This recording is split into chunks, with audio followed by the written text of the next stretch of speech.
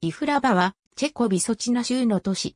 イフラバ川沿いに位置するモラビアとボヘミアの間にまたがる古代の開拓地であった。チェコ最古の工業の町であり、クトナーホラより50年古い。古いスラブ人定住地が川の浅瀬町にあり、後丘の近くにこの場所が移った。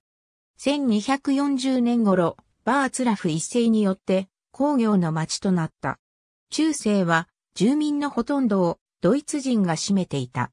中世の宮殿を労働者の定住地が取り囲み、その外側を中世の町の城壁が守っていた。伝承によると、銀行は799年頃には稼働していたという。しかし、これを立証する証拠はない。フッセ戦争時代、イフラバはカトリックの本拠地で、包囲においても抵抗を支持した。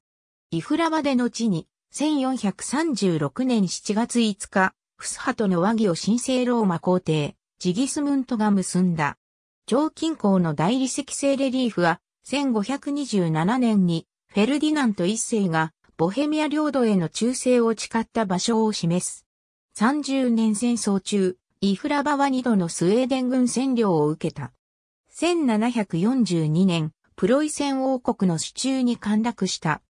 1805年12月には、カール・フィリップ・フォン・ブレーデ中将指揮下のバイエルン軍に、町近郊でプロイセン軍が打ち負かされた。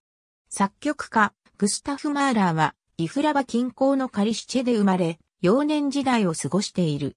1945年以前、イフラバは、チェコスロバキア国内で2番目に大きなドイツ語話者の飛び地であった。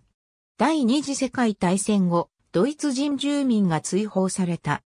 初期ゴシック様式の聖アーコップ教会、聖母教会、ドミニコ会派の聖十字架教会、バロック様式の聖イグナティウス・ロイオラ教会、ゴシックやルネサンス様式の細部を持つ市営ホールがある。